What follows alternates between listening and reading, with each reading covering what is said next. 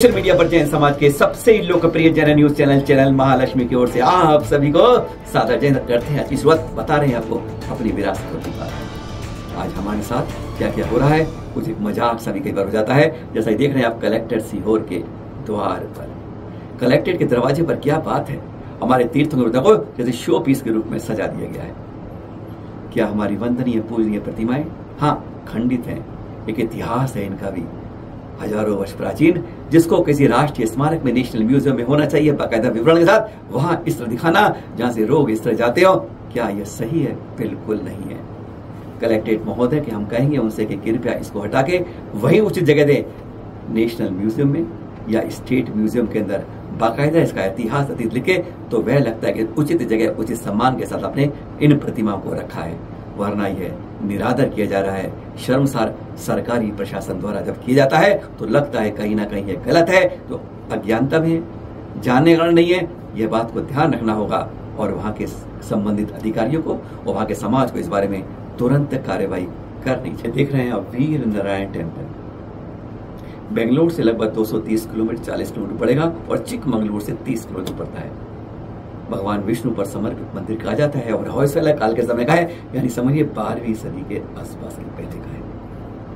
उससे भी पहले का है थोड़ा। यहाँ की बाहर की जिस तरह की शिल्पकारी है, देखकर मंत्रमुग्ध हो जाता है। बस इसलिए हम इस नज़र पे सोशल मीडिया के अंदर पहुँचे इन वीडियो को देखते देखते कि कहा क्या है, कैसी शिल्पकारी थी उस काल के अंदर, जब इस विष्णु मंदिर को बनाया गया। लेकिन जब बनाते बनाते, देखते जा रहे थे, इनके बाहर की दीवारों को देखते जा रहे थे कितनी शिल्पकारी है तो बाद में नज़र अटक गई, खटक गई और यह प्रतिमा दिख गई।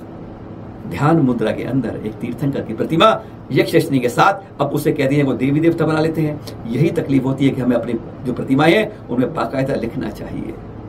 तो आप देख रहे हैं, दोनों तरफ़ यक्षनी है और बीच में तीर्थंकर ध्यान मुद्रा में, जैसा कहा जाता है, उस काल में इसी तरह को रूप को कई मंदिरों में, सैकड़ों मंदिरों में इस रूप को प्रदर्शित किया गया है।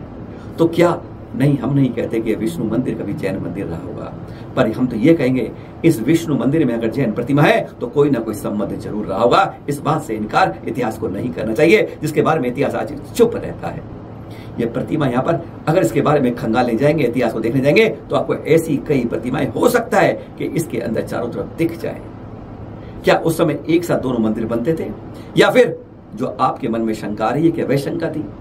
क्या कारण था? क्योंकि उस समय मंदिरों को बहुत बड़ी संख्या में दक्षिण के अंदर बदला गया था। हमें दावा तो नहीं करते, पर इतना ज़रूर कहते हैं कि विष्णु मंदिर के अंदर तीर्थकर प्रतिमा का होना ज़रूर ना कुछ ना कुछ इस बात को संकेत करता है क्या दोनों उस समय एक साथ परंपराएँ चलती थी।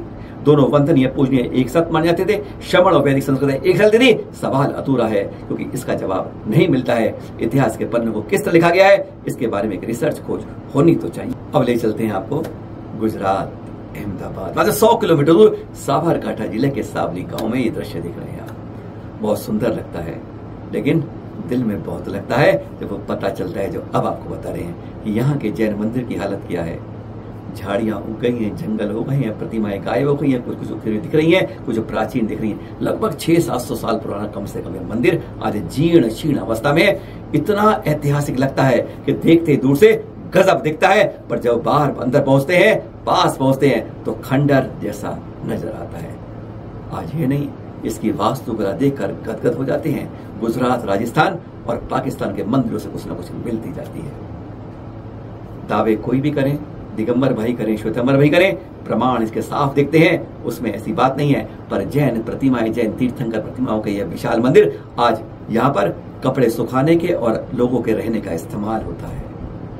आज ऐसी विरासत अनमोल, इतनी विशाल विरासत, जिसको संभालना चाहिए, चंद पैसे लगकर यह बन जाएगा, ऐसा भव्य मंदिर आपको देखने। हाँ आसपास आज यहाँ पर कोई जैन नहीं रहता है। अन्य लोग आके इसको अपने ठहरे का स्थान बना लिया है। कब्जा धीरे धीरे शुरू हो चुका है इस इस विशाल सामले गाँव के इस मंदिर पर। कहते हम बहुत समर्थवान हैं। सब कुछ करते हैं, पर ऐसी विरासतों को छोड़कर इतना गजब के मंदिर है, जब एक बार जाएँगे, इन झाड़ियों को छोड़ दिए, खंड छोड़ दिए तो आप पहचान पाएँगे कि सैकड़ों वर्ष प्राचीन असत हमारी कैसे हो रही है। सवाल छोड़ते हैं आपको इन तीन रसतों पर। एक, कलेक्टर के पास शोपीस बना दी गई है। दूसरा, उस विष्णु मंदिर में तीर्थंकर प्रतिमाएँ दिखती हैं। और तीसरा ही है जो अपना ही मंदिर है, आज बेघर लोग, यहाँ पर आकर लोग कपड़े सुखाते हैं, ठहरते हैं और बहुत कुछ करते हैं और ये खंडित खंडित होता जा रहा है। फिर जगाएँगे आपको इसी बात पर। सोइएगा मत जागिर हो आप, साधक। जय जिंद के साथ